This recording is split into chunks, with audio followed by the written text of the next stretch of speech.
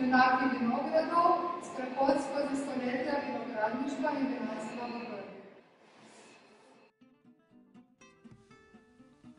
Namen razstave Junaki vinogradov je predstaviti tradicijo, ki jo ima vinogradništvo v Goriških brdih.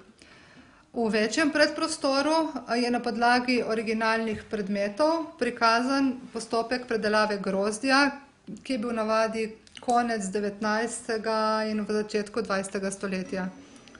Sami opisi predmetov, pa nas seznanijo tudi s predelavo grozdja v srednjem in novem veku. V nadaljevanju sledi predstavitev zgodovine vinogradništva in vinarstva na podlagi dokumentov, slikovnega gradiva in predmetov. Razstavo zaključuje časovni trak, s pomembnimi mejniki v razvoju vinske kleti Brda, v kateri je razstava postavljena.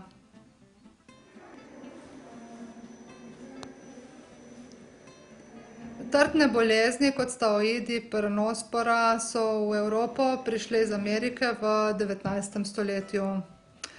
sprva so povzročile veliko škode, saj se kmetje niso znali spopasti z njimi.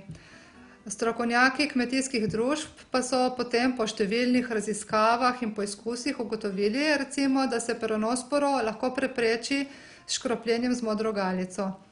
Sprva so kmetje škropili trte tako, da so v raztopino pomakali vejice in z njimi pršili po trtah, vendar je bil ta nanos neenakomeren.